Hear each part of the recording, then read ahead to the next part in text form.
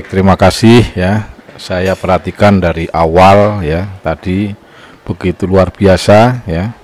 Dari seluruh siswa ya. Dari baik itu siswa siswi yang ikut upacara sangat serius ya. Itu menunjukkan bahwa anak-anak di sini sangat disiplin ya.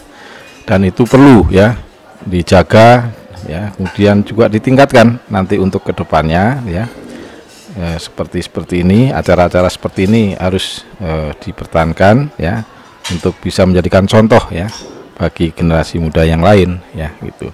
Jadi sangat bagus ya. Begitu juga dari bapak ibu guru dan juga di sini hadir juga tadi saya lihat eh, beliau-beliau dari Pak Kasubdin ya Pak Kadin ya.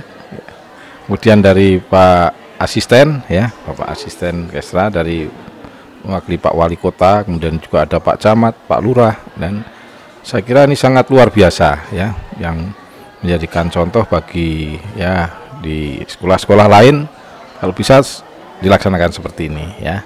Ya, ini saya sangat eh, apa mengikuti sangat serius dan saya juga sangat mencermati terhadap apa penindakan ya terhadap pelaku-pelaku kejahatan terutama yang berkaitan dengan narkoba ya.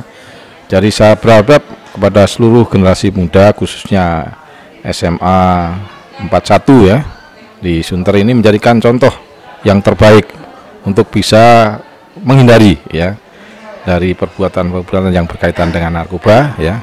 Karena kami yakin bahwa dengan mental yang baik dengan menghindar sesuatu dari lingkungan kejahatan khusus narkoba saya yakin bahwa nanti eh, anak-anak kita rekan-rekan kita akan bisa meraih kesuksesan ya.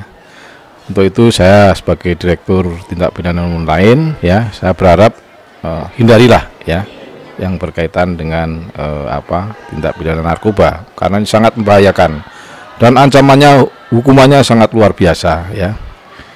Baik itu bisa di hukuman mati seumur hidup dan lain sebagainya ya. Baik itu yang berkaitan dengan apa?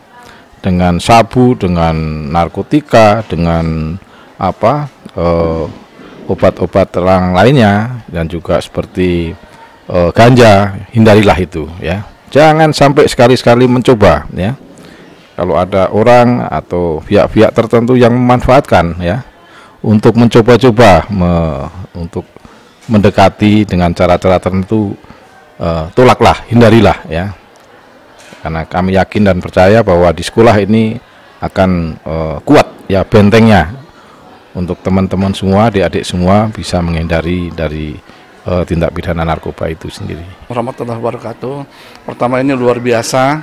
Ini baru kali ini kegiatan upacara apa pun apa upacara dalam kegiatan apa pun, apalagi hari ini Sumpah Pemuda dihadiri oleh pejabat dari Kejaksaan Agung. Ini pejabat pusat. Selama ini kan yang hadir biasanya dari tingkat kota, eh, termasuk dari kecamatan. Ini kegiatan yang luar biasa dan terima kasih banyak pada Bapak Direktur Pidana Umum. Mudah-mudahan ini terus uh, bisa berlanjut. Dari perjalanan upacara tadi, kita bisa melihat anak-anak kita punya banyak potensi yang ditampilkan. Tapi mungkin masih banyak potensi lain yang belum digali. Saya yakin anak-anak kita uh, di SMA Negeri 41 ini adalah anak-anak baik, anak-anak cerdas yang punya masa depan. Uh, kita berharap SMA Negeri 41 bisa menjadi sekolah unggulan, minimal sekolah unggulan di Jakarta Utara atau di tingkat nasional. Ya, Pak.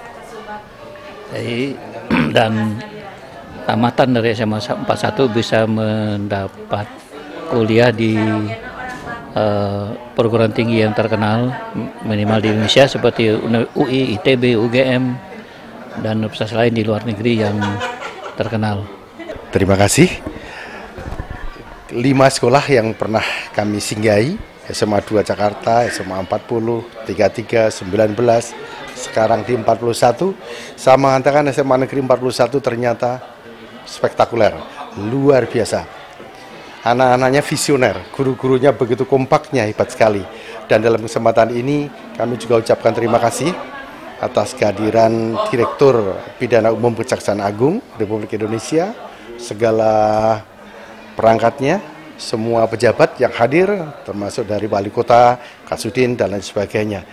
Peran serta anak-anak di dalam upacara luar biasa, memperhatikan pesan dari Menteri Pemuda dan Olahraga juga begitu khidmat. Intinya luar biasa, bravo SMA 41, menjadi yang terbaik. Uh, sangat luar biasa ya, uh, kelihatan kompak, kelihatan khidmat dalam mengikuti upacaranya. Meski